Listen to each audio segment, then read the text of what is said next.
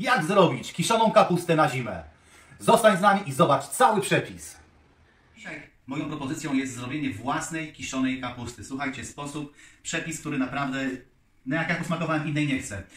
A sponsorem dzisiejszego odcinka jest kanał Małgorzaty Kryger, na który serdecznie zapraszam. I do tego kanału znajdziesz w opisie tego filmu. Zasubskrybuj koniecznie. Oczywiście, kapusta, ja mam takie dwie większe główki, bardzo lubię kapustę na suróweczkę i tak dalej. Marchewka i co jest bardzo ważnym składnikiem, nie każdy o tym wie, ludzie próbują robić, ale robią duży błąd, bo dają sól jodowaną. Nie dawaj soli jodowanej. Obojętnie jaka, kamienna, sól alpejska, ale żeby nie była jodowana. To jest bardzo ważne. Od czego zaczynamy? Najpierw zetrzemy marchewkę na grubych oczkach.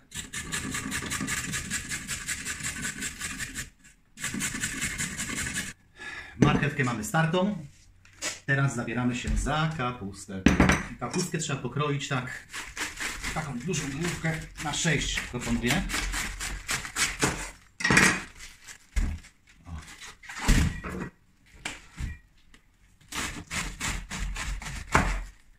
Tak, kapusta jest pokrojona. Słuchajcie, ja mam taki przyrząd do szatkowania. Kiedyś robiłem, jak robiłem to, robiłem w robocie kuchennym, ale tam coś poszło nie tak i kupiłem taki przyrząd do szatkowania kapusty. Sprawdza się jak najbardziej, tylko trzeba na palce uważać.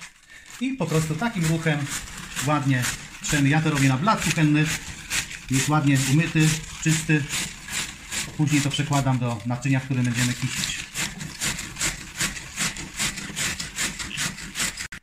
Tak, kapustka jest pokrojona, zobaczcie, zostają takie głąby. Te głąby nie wykroiwamy, one trzymają kapustę. Środeczek od kapusty to jest ten Środeczek, głąb. tak. No, jest dużo takich chodzących, nie powiem gdzie. Środeczków. Dobra, wróćmy do tematu, przepraszam się, roześmiałem. Dobrze, kapusta jest zrobiona, marchew jest zrobiona, sól jest przygotowana. I teraz, jakie proporcje? Dajemy tak. Dwie garście. Dwie garście e, kapusty. Jeszcze raz dwie garście. Dajemy garść startej marchewki. I łyżka soli.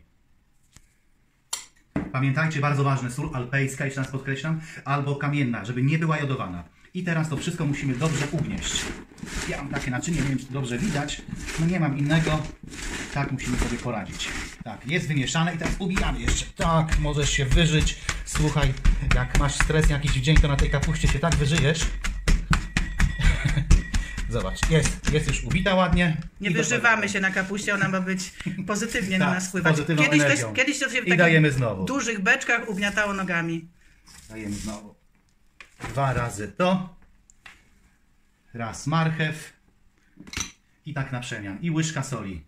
Możesz spróbować, jak nie dasz rady tak wysoko, po prostu wziąć jakiś taboret czy na podłodze, bo to jednak jest ciężko. I mieszamy tak, żeby tej dolnej warstwy nie, nie połączyć z tym górnym tutaj, tak? Wymieszane, wymieszane. Zobacz. I znowu ugniatamy. Kochani, zobaczcie, kapustka nam zrobiona, znaczy taka była pełna miska kapusty, zrobiła się taki mały. Nie mam innego po prostu, ja robię w takim pojemniku. Ja wiem, że się robiło kiedyś w beczkach, robiło się w gliniankach. No dziś mamy plastik, no niestety. Ale kapusta jest wyśmienita, uwierzcie mi, wyśmienita. Tak, kapusta jest ubita, głąbki zostały, środki od kapusty. Teraz to wszystko musimy przygnieść jeszcze. Można na to dać jeszcze albo jakiś kamień możesz dać, możesz dać słoik z wodą. Tak, żeby ona była taka pusta dociśnięta i odstawiamy to w ciepłe miejsce na jakieś 4-5 dni. Później możesz to wstawić do garażu, gdzie jest chłodniej. I tak, zamykamy. Nie dociskasz to powietrze, tutaj musi dochodzić, to musi pracować wszystko. Także tak wystarczy, jak tak zrobisz. I po 5 dniach przekładamy do słoika i tak zostawiamy na zimę.